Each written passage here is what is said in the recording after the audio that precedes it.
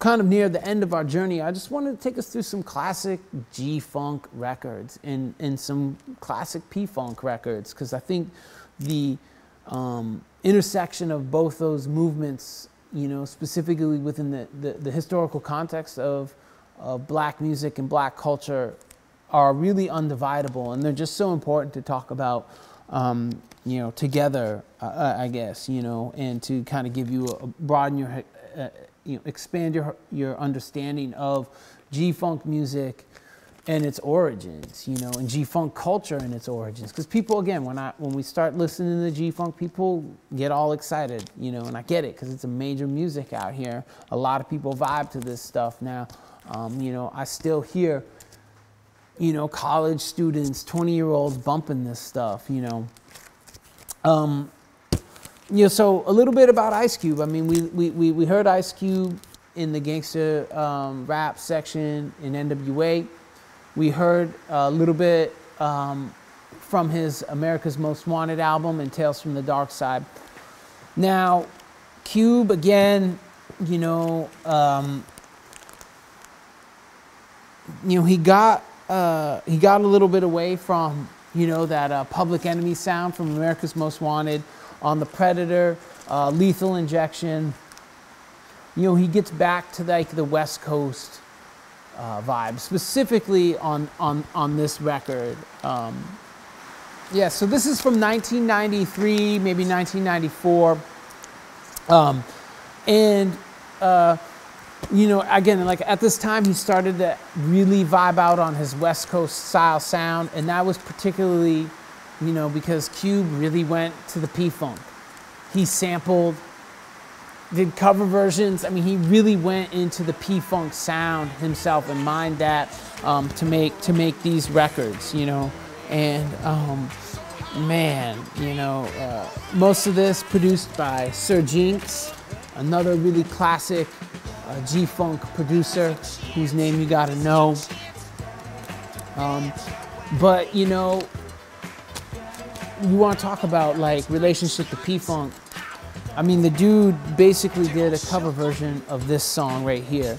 Um, George Clinton, you know, uh, Funkadelic, you know, One Nation Under a Groove, getting down just for the funk of it.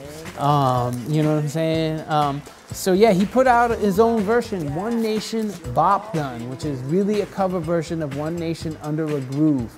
Um, and he, you know, he got George Clinton on this. And I mean, that was the thing is like I said about George is like, you know, um,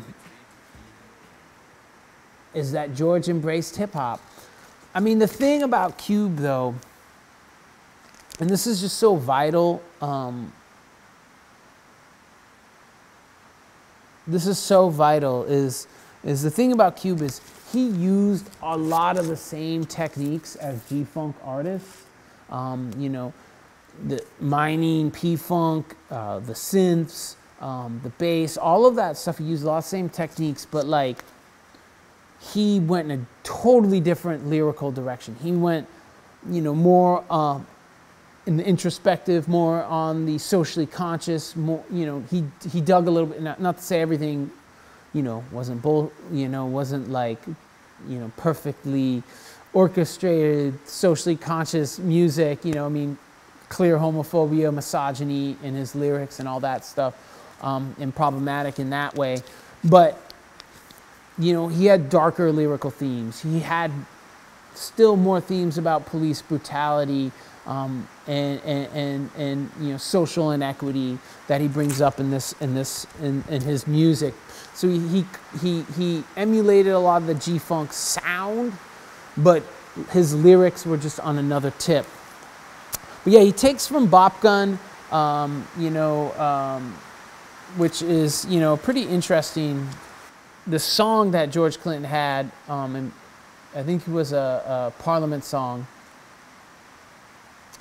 uh, and it's called Bop Gun Endangered uh, Species. And the basically you'll see in this music video for One Nation um, where the Bop Gun um, appears. George Clinton is in the music video, and there's a scene, and I'll bring it up. I'll show it to you where where he appears with the Bop Gun. And the Bop Gun was basically you know, this idea of like this gun as part of like the the George Clinton's performance that would fill people's heart. The idea is like the bop gun will fill your heart, you know, with love and, and through music and, and stuff like that. So um, you see that in in this um, in this music video. But um, yeah, so we're gonna get into um, One Nation, Bop Gun, Ice Cube featuring George Clinton.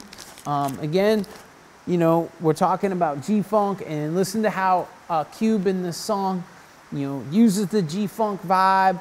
You know, this is from 93, 94, uses the G-Funk vibe, but he talks about different things um, lyrically in here.